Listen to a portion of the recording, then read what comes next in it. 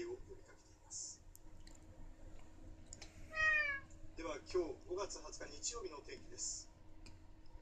北日本や北陸では朝まで雨のところがあるでしょう。日中は北海道から九州の北部にかけて広く乾燥した晴れとなる見込みです。九州の南部や沖縄本島は曇りで夕方以降雨や雷雨のところがありす。